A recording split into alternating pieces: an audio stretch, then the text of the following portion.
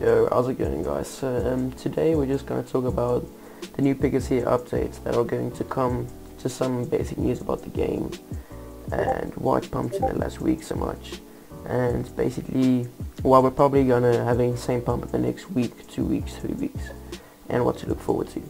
So first of all when we come to the update teaser thing right here we can see that March 30 it gave us the stats-based racing and genetical breeding. Now we all know that the stats-based racing and genetical breeding is out, but nobody really knows how it works yet. They haven't gave us like a kind of a tutorial on how the stats-based racing works because it's at the moment it still looks totally random to us. We don't know what icon on the stadium means what icon on the horse. Like it's it's totally random at the moment for us because we don't know how it works.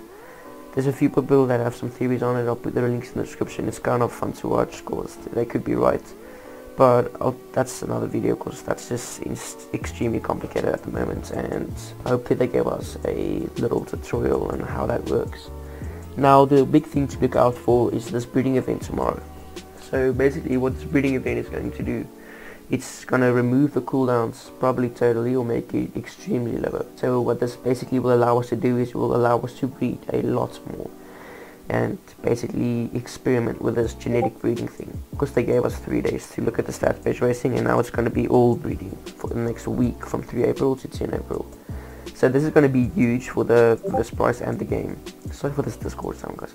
This is going to be huge for the for the for the game because and the this price because if you want to breed with a PI you need to buy this and when you buy this the price of this will go up obviously and to make it even better when you actually breed the pig out all that vis I think like 85% or all of it gets burned totally. So this is going to be really good for the game and the vis price is probably going to shoot up in this in this week for the breeding event. So this is going to be really fun and look out for this. And if you can also breed because this is going to be probably the best time to breed in the next couple of months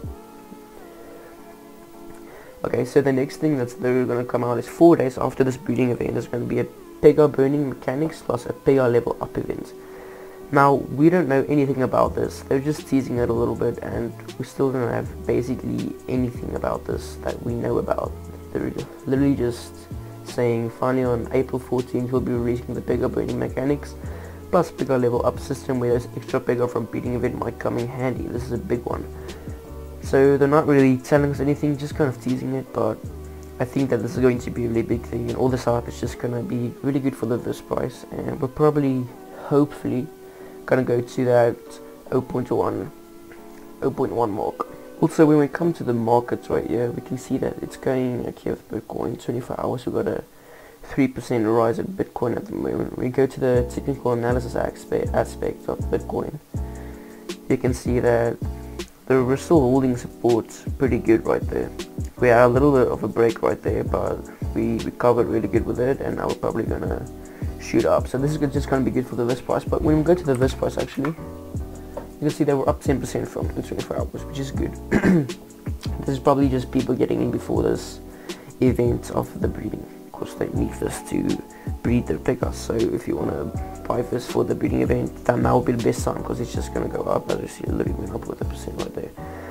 So when we go to the one month chart, you can see, I mean the seven day chart, we can see went up a lot because this is where they had the meet up in Korobai, whatever that place was they went to, and when they came back, all the new updates came in, and that made the price go up like this. And now we have a good recovery, and we're probably going to go for the for the second for the second phase of this price bump. So yeah, this is looking really good for this, and I'll see you guys in the next video of the new updates. See ya, see you guys.